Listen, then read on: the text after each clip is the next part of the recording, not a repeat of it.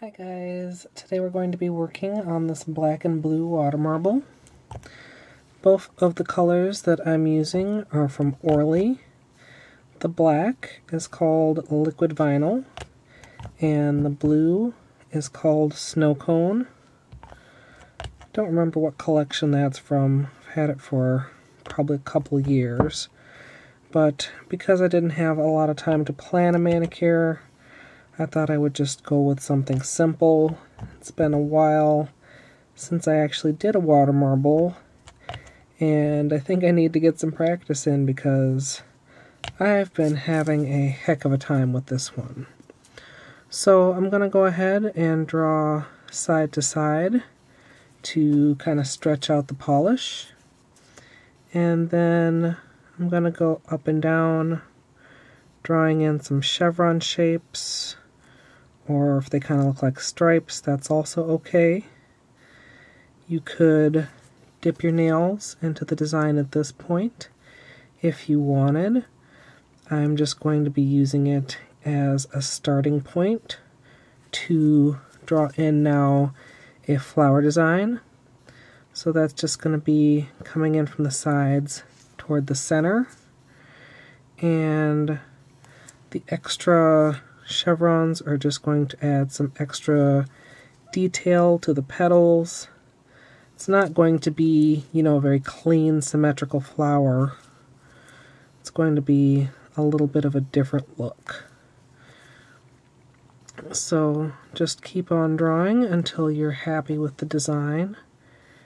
And as always, that's up to your personal preference, as well as, of course, how long the polish stays wet enough to draw in. So I can tell it's getting a little sticky right now. So I'm going to leave it like that. I've got my nails prepped with Snowcone as well as some tape around the outside. And I'm just going to dip these three in at the same time. Just line them up as best I can, and then slowly dip with my orange stick, I'm going to clean up that little bit of excess polish. Make sure there's none on the surface to mess up the design. And then I'm going to slowly pull my nails out. And there's the water marble. Uh, one of the problems I had with this, not sure how well you can actually see unless you're looking for it, but on my left index nail here, I had a corner where the water marble didn't transfer, so I went ahead and kind of just drew in the pattern as best I could.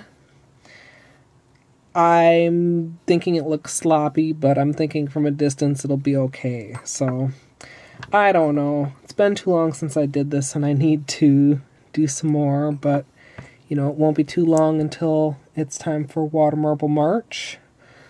So I better get my technique back in hand before then. But um, yeah, I hope you guys enjoyed. Sorry I've been a little bit late on Sundays lately, but I've just been having some pretty busy weekends. Let me know what you guys think of this design down in the comments. I'll try to get some time to answer comments soon.